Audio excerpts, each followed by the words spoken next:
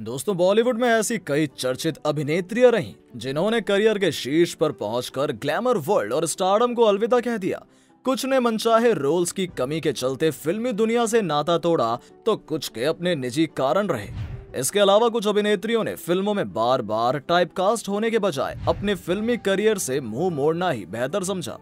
दोस्तों, आज के हमारे इस वीडियो में हम बॉलीवुड की एक ऐसी अभिनेत्री की दास्तान सुनाने जा रहे हैं जिन्होंने बड़े पर्दे पर कदम रखते ही अपनी खूबसूरती और अभिनय से लोगों का दिल जीत लिया। खास बात यह रही कि इस अभिनेत्री को पहला ऑफ़र महज 14 साल की उम्र में मिला था। दोस्तों 70-80 के दशक के कुछ बेहतरीन नगमे भी इस अदाकार पर फिल्माए गए हैं। मगर एक अच्छा करियर और रुतबा होने के बावजूद इस एक्ट्रेस ने एक वक्त के बाद बड़े पर्दे को अलविदा कह दिया। बता दें कि बॉलीवुड की इस बेहतरीन अदाकारा की प्रोफेशनल लाइफ के अलावा पर्सनल लाइफ भी काफ़ी चर्चा में रही। माना जाता है इस अभिनेत्री के कई एडमायरर्स भी रहे हैं। दोस्तों, अब तक के इंट्रोडक्शन से आपने अंदाज़ा लगा ही लिया होगा कि आज की चर्चा अभिनेत्री बिंदिया गोस्वामी पर आधारित है। ड्रीम गर्ल हेमा मालिनी की लुक अलाइक के तौर पर जानी जाने वाली बिंदिया एक वक्त पर बॉलीवुड की सक्सेसफुल अभिनेत्रियों में शुमार थी। पर एक समय के बाद इनके करियर में ठहराव आया और इन्होंने अभिनय से दूरी बना ली। तो आइए दोस्तों, हमारे इस वीडियो के ज़रिए जानते हैं, बॉलीवुड की इस काबिल और खूबसूरत अभिनेत्री बिंदिया गोस्वामी से जुड़ी दिलचस्प बातें। यहाँ हम आपको इनकी पर्सनल और प्रोफेशनल लाइफ से जुड़ी कई अनकही बातों से रूबरू भी करवाएँगे। दर्शकों से गुजारिश है कि वो इस वीडियो को पूरा देखें और हमारे चैनल से जुड़े रहें। बिंदिया का जन्म 6 जनवरी उन्नीस सौ बासठ को भरतपुर, राजस्थान में हुआ था। इनके पिता एक तमिल आयंगर थे, जबकि इनकी माँ एक कैथोलिक थी। इनके परिवार की खास बात ये रही कि इनके पिता ने सात बार शादियाँ की थी। बता दें कि बिंदिया बचपन में अपनी बहन की तरह एयर होस्टेस बनने के सपने देखती थी, पर डेस्टिनी को कुछ और ही मंजूर था। दर्शकों, शुरुआत में बिंदिया गोस्वामी का फ़िल्मों में आने का कोई इरादा नहीं था। अब हम आपको बताते हैं कि बिंदिया आखिर ग्लैमर वर्ल्ड में कैसे आई। हुआ यूँ कि जब बिंदिया अपने परिवार के साथ किसी पार्टी में गई थी, तब उसी पार्टी में ड्रीम गर्ल हेमा मालिनी की माँ ने उन्हें नोटिस किया। खास बात यह है कि खुद हेमा की माँ को बिंदिया हेमा की लुक अलाइक लगी। इनके चेहरे का भोलापन और सादगी हेमा की माँ को कुछ इस तरह पसंद आया कि इन्होंने फ़िल्म इंडस्ट्री के कुछ जाने माने प्रोड्यूसर्स को बिंदिया का नाम सजेस्ट किया। बता दें कि साल 1976 में आई फ़िल्म जीवन ज्योति में बिंदिया को बतौर लीड एक्ट्रेस कास्ट किया गया था। फ़िल्म जीवन ज्योति तेलुगु फ़िल्म मुथियाला मुग्गू की रीमेक है। इस फ़िल्म के दौरान इनकी उम्र महज 14 साल की थी। फ़िल्म जीवन ज्योति में बिंदिया ने अभिनेता विजय अरोड़ा के ऑपोजिट काम किया। दर्शकों को बिंदिया की सादगी बहुत पसंद आई थी। इस फ़िल्म में बिंदिया भोली भाली लड़की के किरदार में खूब जची। बड़ी बड़ी आँखें, प्यारी मुस्कुराहट सादगी भरा साज, श्रृंगार और भारतीय पहनावा लिए बिंदिया गोस्वामी दर्शकों के दिलों में घर कर गईं।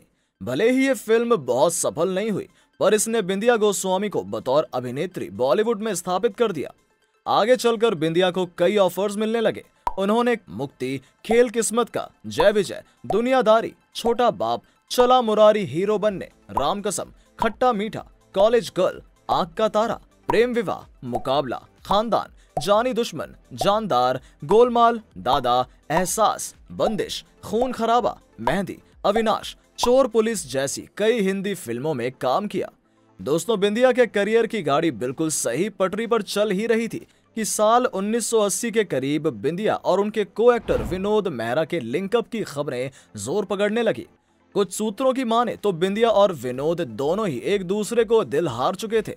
दोनों ने साथ फ़िल्मों में खूब काम भी किया। दोस्तों, बिंदिया और विनोद पर हिंदी फ़िल्मों के कई हसीन नगमे भी फिल्माए गए हैं। फ़िल्मों में इनका रोमांस काफ़ी रियल लगता था।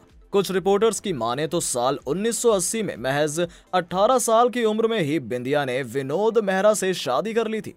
दोस्तों, इस शादी में कोई रुकावट नहीं होती। अगर विनोद पहले से शादीशुदा नहीं होते बता दें कि जब विनोद और बिंदिया के बीच अफेयर शुरू हुआ, तब विनोद मीना बोरका से विवाहित थे। इस लिहाज से बिंदिया और विनोद की शादी को परिवार और समाज की मोहर मिल पाना लगभग नामुमकिन था। बिंदिया का नाम अब बार बार मीडिया में इस विवादास्पद प्रेम संबंध के चलते सामने आने लगा, जिसका नतीजा ये हुआ कि उन्हें फ़िल्मों के ऑफर्स मिलने कम हो गए। हालाँकि साल उन्नीस सौ चौरासी में बिंदिया ने विनोद से कथित तौर पर तलाक ले लिया। इस वक्त बिंदिया महज 22 साल की थी। कम उम्र में बड़ी सफलता देखने वाली बिंदिया को निजी संबंधों में काफ़ी उतार चढ़ाव देखने को मिले। भले ही एक वक्त के बाद विनोद और बिंदिया के रास्ते अलग हो गए, पर माना जाता है विनोद इस रिश्ते के टूटने से काफ़ी आहत थे। विनोद को और भी बड़ा झटका तब लगा जब उनके रिश्ता टूटने के महज साल भर बाद बिंदिया गोस्वामी का नाम जाने माने फ़िल्म डायरेक्टर, प्रोड्यूसर और राइटर जेपी दत्ता से जुड़ा। दोस्तों, साल उन्नीस में बिंदिया ने जेपी दत्ता से शादी कर ली। इस शादी के बाद बिंदिया का फिल्मी करियर बिल्कुल ही थमसा गया। उन्हें आखिरी बार बड़े पर्दे पर साल उन्नीस सौ सतासी में आई फ़िल्म मेरा यार मेरा दुश्मन में देखा गया। अपनी गृहस्थी संभालने के लिए बिंदिया ने अपने करियर को छोड़ना मुनासिब समझा। बतौर अभिनेत्री अपना करियर छोड़ने के बाद उन्होंने पति जेपी दत्ता की फ़िल्मों में लीड एक्ट्रेसेस के कॉस्ट्यूम डिज़ाइन भी किए हैं। उन्होंने एक्टिंग को पीछे छोड़ डिज़ाइनिंग में किस्मत आजमाई। दोस्तों, बिंदिया ने रानी मुखर्जी, ऐश्वर्या राय, करीना कपूर आदि की कॉस्ट्यूम डिज़ाइन भी की है। आइए दोस्तों, अब और भी करीब से एक नज़र बिंदिया गोस्वामी की पारिवारिक ज़िंदगी पर डालते हैं। बिंदिया गोस्वामी के पिता का नाम श्री वेणुगोपाल गोस्वामी था, जबकि इनकी माँ का नाम डॉली था। बिंदिया के पिता वल्लभ संप्रदाय के एक पुजारी थे। बिंदिया के पिता एक तमिल थे, जबकि माँ एक कैथोलिक थी। इनके भाई का नाम राजीव गोस्वामी और बहन का नाम पल था, जो पेशे से एयर होस्टेस थी। बिंदिया के माता पिता और भाई की तस्वीरें उपलब्ध नहीं है। बात बिंदिया के बच्चों की करें तो इनकी दो बेटियाँ हैं। इनका नाम निधि और सिद्धि है। निधि भी अपनी माँ की तरह हमेशा से ही एक्टिंग की शौकीन रही है। अपने आप को प्रूफ करने का जज्बा इनके अंदर हमेशा रहता था। इसके लिए इन्हें एक मौके की तलाश थी और ये मौका मिला इन्हें बिनोय गांधी की फ़िल्म जी भर के जीले से। इन्होंने टीवी डायरेक्टर बिनोय गांधी से शादी की है। बिंदिया की दूसरी बेटी सिद्धि अपना खुद का ई कॉमर्स फ़ैशन से जुड़ा बिज़नेस चलाती हैं। शादी के बाद सन उन्नीस सौ सतासी में आई फ़िल्म मेरा यार मेरा दुश्मन इनकी आखिरी फ़िल्म थी।